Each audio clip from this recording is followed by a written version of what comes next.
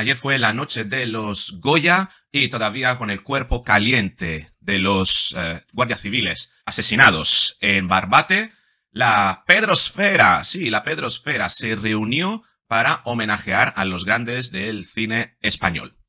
Quédate conmigo en el vídeo de hoy porque vamos a analizar las tres grandes incongruencias, los tres elementos de mayor cinismo que eh, podemos haber visto ayer en la gala de los Goya, siempre un análisis desde el punto de vista psicológico de cuáles pueden ser las incongruencias ¿no? del ser humano para tratar de darle respuesta. Y una de ellas, por ejemplo, ¿qué puede haber motivado a Pedro Sánchez a estar en la gala de los Goyas y no haber ido a la capilla ardiente de los dos guardias civiles en Barbate, en Cádiz, para rendirle homenaje o para al menos representar el Estado? ¿Cuál es la explicación que podemos dar a este comportamiento y qué dice de su personalidad? Y por cierto, ¿Qué es eso de la Pedro Esfera? Espérate, espérate al final del vídeo porque te hablaré también de lo que yo considero la Pedro Esfera, en qué consiste, cuál es la definición que le puedo dar. Y bueno, por cierto, parece ser que ayer fue una gran noche para la sociedad de la nieve.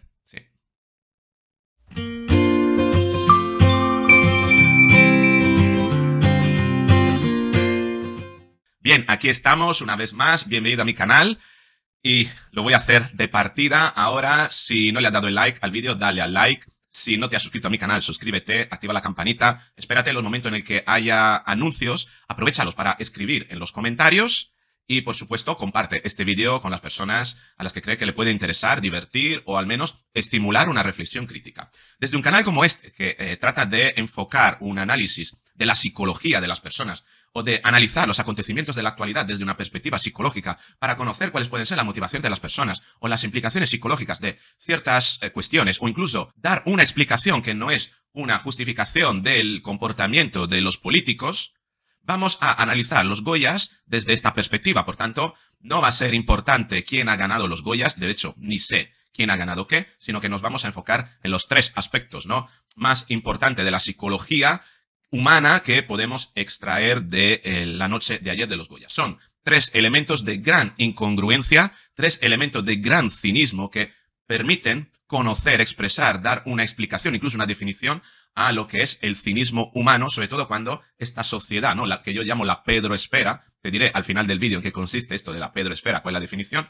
cuando esta pedroesfera se reúne, ¿no? En una eh, sociedad, por así decirlo, de élite muy alejada de lo que son los problemas de los ciudadanos, se reúnen para autocelebrarse y tienen a todo el mundo dándole palmas, ¿no? Los comunes mortales, ¿no? Como nosotros, aquella persona que, bueno, quizá tenemos más dificultades para llegar a final de mes, aquella persona que tenemos que lidiar con los, con, los problemas del día a día, ¿eh? aquellas personas que tenemos que caminar en los barrios, en las ciudades, em, sin tener a nadie que nos haga las compras, ¿no? Eh, aquellas personas que vivimos en el anonimato, pero que dentro del anonimato también no tenemos una cantidad de privilegios que tienen las personas del mundo del cine, ¿no? Y que hace que esta, esta sociedad del cine actúe, se comporte, eh, realice ciertas declaraciones que realmente son demostración de lo alejadas que están, lo alejadas que están estas personas de los problemas de las personas comunes de todos los días, ¿no? El hecho de que viven casi en un mundo paralelo, ¿no? En una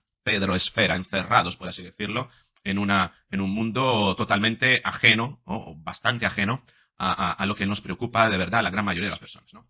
Y uno de, de, estos, de estas grandes demostraciones de cinismo, la primera de todas, está recogida en unas declaraciones de Pedro Almodóvar, que eh, dijo esto. Ojo, vamos a ver directamente el vídeo y luego te explicaré por qué es una, una expresión de cinismo. Señor Weaver nos ha, nos ha descrito muy bien a las personas que trabajamos en, en esta profesión ha dicho que el cine, los que trabajamos en el cine, no podemos ser débiles de corazón. I'm talking about you, eh. Em, y con la fortaleza de corazón que en este momento siento, en una noche de premios y reivindicaciones me vais a permitir que haga una reivindicación más. Y esta reivindicación es a favor del cine español. Eh, hace no muchas horas, un político que está presente en esta sala ha hablado de nosotros como de los señoritos que recoge las subvenciones y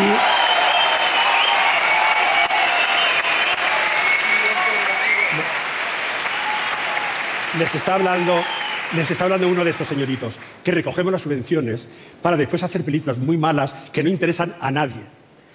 Bien, pues yo a este hombre le voy a, le voy a decir lo obvio, y es que el dinero que los cineastas recibimos como anticipo eh, lo devolvemos con creces al Estado.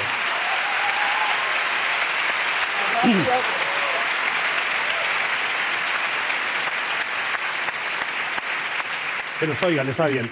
A través de nuestros impuestos y de la seguridad social. Y, por supuesto, podría estar toda una noche más, pero son tres horas y media la que llevamos de, ceremonia. Y además de crear miles de puestos de trabajo.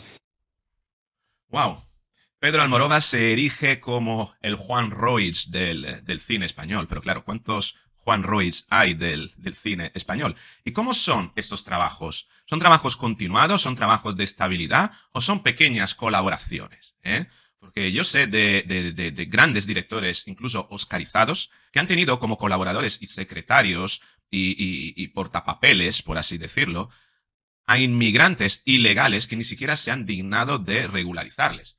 Entonces, no sé, em, no sé de dónde viene esto de, Pedro Almodóvar, sobre todo porque eh, el cinismo ¿no? que, expresa aquí Pedro Almodóvar se, em, se, expresa a través de dos vías. ¿no? La primera, la primera es que admite que reciben dinero del Estado. Y esto es tremendo. ¿Por qué se tiene que pagar con nuestros impuestos una industria, una actividad empresarial que está orientada a un beneficio y que debe de buscar su propia viabilidad?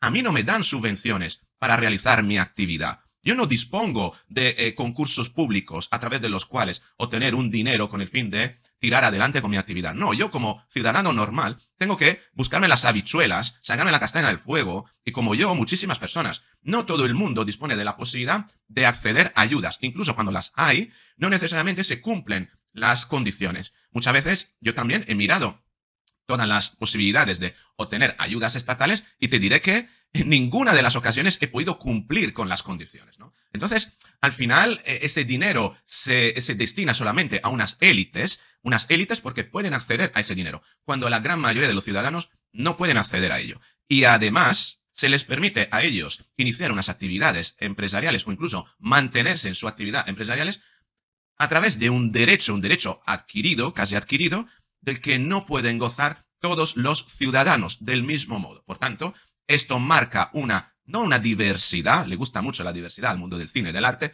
sino una discriminación. Discriminación que hace que esta gente sí que sea privilegiada porque obtiene unas ayudas que no debería de obtener.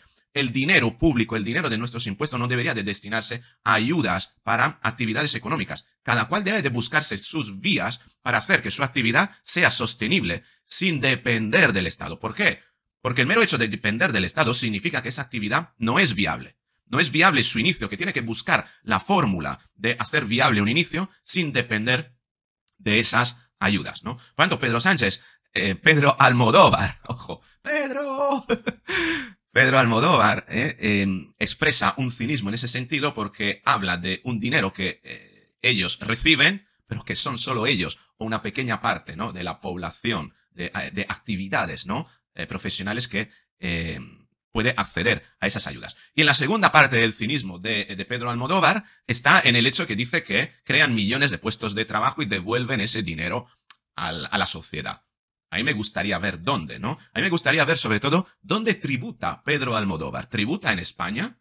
¿Dónde tributa Penélope Cruz? ¿Dónde tributa Javier Bardem, por ejemplo? Me gustaría saberlo, ¿no? Eh, aquí Rubén Gisbert, no sé si es cierto, dice, lo tenéis aquí, dice quien no tributa en España a través de una SICAV y aparece en los papeles de Panamá con una sociedad opaca en un paraíso fiscal. No sé si con esto Rubén Gisbert está refiriéndose a Pedro Almodóvar. Si esto fuera así, desde luego sería una segunda vertiente de cinismo por parte de, eh, de Pedro Almodóvar al decir lo que dijo, si es que realmente no tributa en España y está en un paraíso fiscal. Tremendo, tremendo, tremendo. Eh, por parte de una sociedad, lo que yo he llamado la sociedad de la nieve, que eh, podrás ver a través de esto, de esta... Bueno, no, tres. Tres no mereció, pero Goyas, ninguno. Vale. ¿Tú cuántas nominaciones tienes, cariño? Eh, bueno, no, vale. Tres no mereció, pero Goyas, ninguno. Vale. ¿Tú cuántas nominaciones tienes, cariño? Bueno, no, vale. Tres. Tres pero Goyas, ninguno. parece que está bastante perjudicado, ¿no? Por alguna sustancia este, este actor, en un post de Ramsey Ferrero. Y, claro, esto demuestra un poquito la preocupación de esta, de esta sociedad, ¿no? ¿Cuántas nominaciones has tenido? Eh, creo que dijo tres o cuatro, ¿no? Pero Goyas ninguno, así como triste, ¿no? Bueno, eh, triste por esto, mientras Media España arde, arde con eh, otras cuestiones como son los problemas del campo, los dos eh, guardias civiles, los guardias civiles asesinados por narcotraficantes, em, en fin, las cargas policiales, tenemos muchísimas cuestiones, pero vamos a pasar al segundo. Segunda, la segunda gran eh, obra de cinismo eh, de los Goya está en esta noticia. el mundo del cine dice se acabó a los abusos sexuales en la industria. Es urgente que exijamos certezas de igualdad. Varios se presentaron con este abanico que ponía el lema, el hashtag se acabó. Ana Belén también que dice Las mujeres del cine, como todas, no queremos intentos para vivir. Es urgente que todos exijamos certezas de igualdad. Y eso pasa por condenar todos los abusos y la violencia sexual. Y Señal de que quieren, quieren crear un movimiento Me Too artificialmente, aprovechando el viento que viene de Estados Unidos y el hecho de que en Estados Unidos eso se agarró, se agarró eh, a, un hecho concreto asociado a un director de cine, que Weinstein, ¿no? Y que aquí en España han querido, han querido encontrar su propio Weinstein con eh, Carlos Bermud, eh, tratando de echar tierra a, este director, tratando de condenarlo públicamente a través de una em, una investigación de un periódico, el periódico este, este de, de, Bukele, ¿no? Lo País, el que lee Bukele, ¿no? El periódico de Bukele, sí, Lo País, ¿no? Que, que hizo una investigación Em, al parecer, bueno, por lo menos por lo que yo he podido ver, extremadamente sesgada, donde han tenido que prácticamente em, forzar ¿no? Eh, a tres em, personas del mundo del cine a declarar en contra de Carlos Bermud, y diciendo eh, ellas mismas, ¿no? estas periodistas, que Carlos Bermud eh, tenía la tendencia a buscar personas Em, manipulables, fácilmente manipulables, ¿no? Y por un lado dicen que, claro, sus víctimas eran fácilmente manipulables y después dicen que han tenido que convencerlas, ¿no? Por así decirlo, a, declarar en, eh, en un artículo mm, en prensa, ¿no? Y esto es lo increíble, que un periódico se permita señalar a una persona con nombre y apellidos por una serie de em, delitos presuntos que puede haber cometido sin siquiera existir una denuncia. Es decir, si quieres denunciarlo y crees que tiene las pruebas para denunciarlo, ve a la Guardia Civil, ve a la policía, ve a las instituciones que están hechas para esto y denúncialo. Pero el mero hecho de no quererlo denunciar y pasarlo por eh, pasar por un hacer pasar a una persona por un escarnio social, por un juicio, ¿no?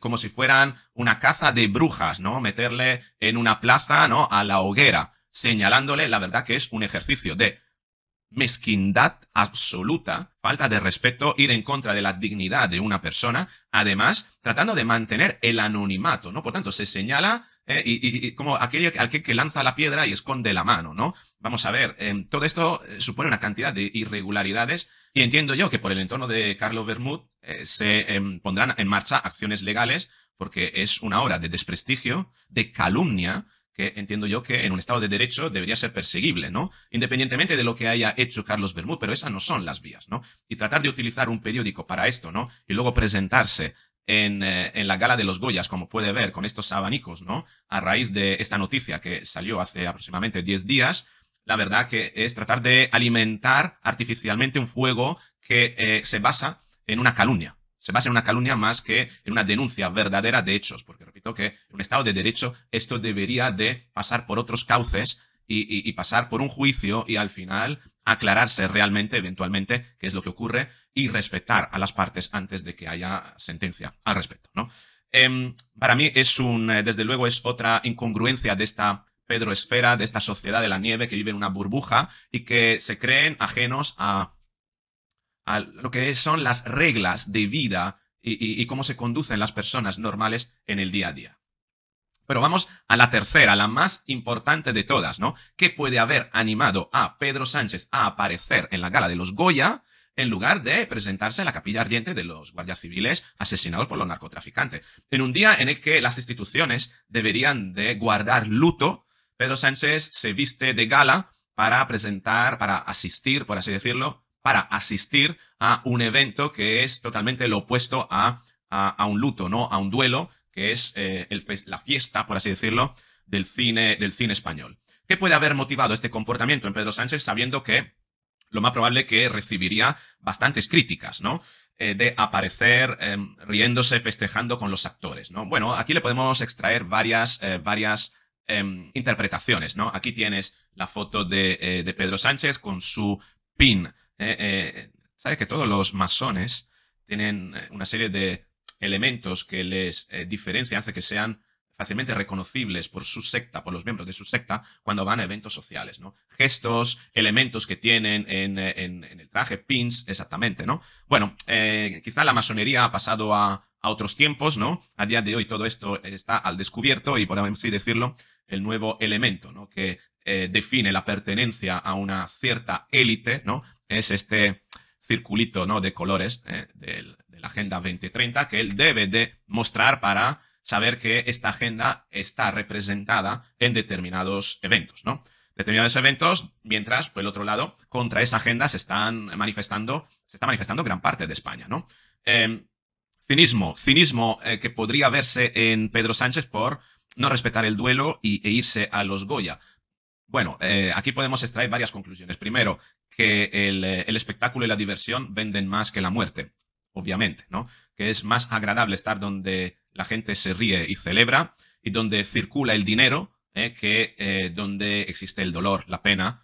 Desde luego, estar en, en, em, en, una capilla ardiente ¿no? con la familia de los asesinados, ¿no? de los guardias civiles asesinados, no trae dinero a, ninguna industria. Por tanto, Pedro Sánchez no debe de estar, ¿no? así decirlo, el jefe del, gobierno debe de estar donde se mueve el dinero, debe de estar donde se mueven las actividades económicas, donde hay intereses, redes clientelares, subvenciones, votos. Entonces, desde esta perspectiva, es fácil comprender que no es justificar el comportamiento de Pedro Sánchez, ¿no? Por tanto, tenemos dos cuestiones. La primera, que es más agradable estar allí que estar en una capilla ardiente en Cádiz, y la segunda, que eh, es eh, importante que el presidente del gobierno esté donde se mueven los círculos de influencia en lugar de donde no se puede rascar nada. Pero hay una tercera, hay una tercera que va con la personalidad de Pedro Sánchez. ¿no? Pedro Sánchez, eh, con su ego desmesurado, yo creo que a él le hubiese encantado ser actor de cine. yo creo que él se encuentra en su salsa cuando está con este tipo de gente donde él incluso como presidente del gobierno trata de dar una imagen de eh, protagonista de película de cine, ¿no? Eh, las fotos en el Falcon, el, lujo, ¿no? El incrementar también el presupuesto del Falcon en no sé cuánto dinero para, bueno, mostrar, hacer alarde, ¿no? De, de, elementos de lujo. Le gusta muchísimo, ¿no? Este aspecto. Él sabe muy bien que no puede lucir un Ferrari porque quedaría mal, no puede lucir un coche deportivo, pero trata de compensar todo esto estando en determinados entornos donde él pueda destacar como una persona poderosa y donde pueda tener un reconocimiento como persona poderosa.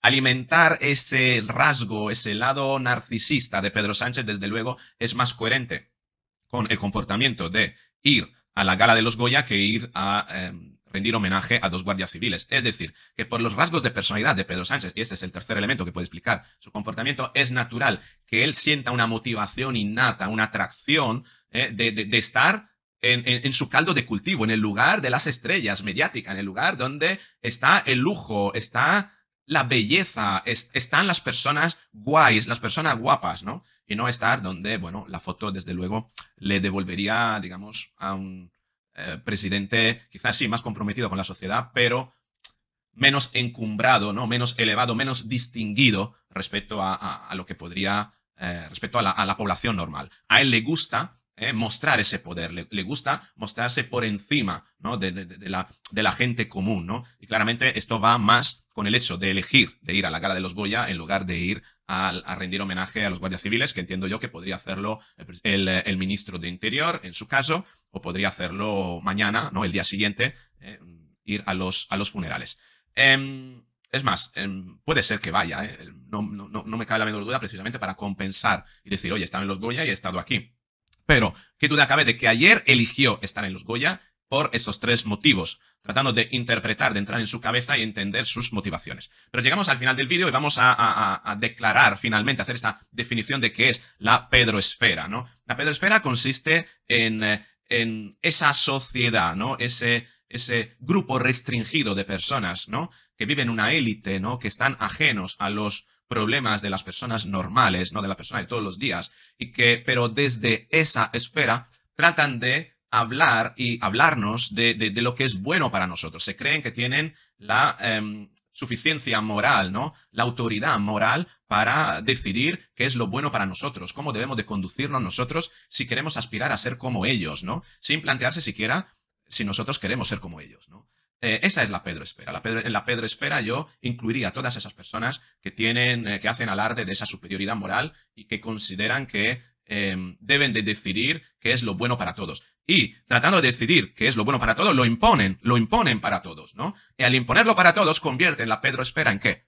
En la verdadera fachoesfera. Sí, señor. Y esas son mis conclusiones. Me gustaría saber qué es lo que opinas tú al respecto de todo esto. Si tú también ves cinismo en estos tres hechos asociados a los Goya, si tú entiendes el comportamiento de Pedro Sánchez bajo estos tres principios que te he comentado, y si crees que al final la Pedroesfera y la fachoesfera coinciden. Al final es llamar de, manera diferente lo mismo, ¿no? Escríbeme en los comentarios. Si te ha gustado este vídeo, te invito a que le des a like. Si crees que puede interesar a otras personas, que lo compartas. Si no estás suscrito, suscríbete al canal, suscríbete, porque seguiremos analizando la actualidad siempre desde esta perspectiva psicológica para comprender la motivación de las personas en determinados comportamientos que, al parecer, podrían ser incluso incongruentes. Y bueno, aquí le pondremos una explicación que, en caso alguno, lejos está de proponerse como una justificación. Con eso es todo. Un beso y nos vemos en el próximo.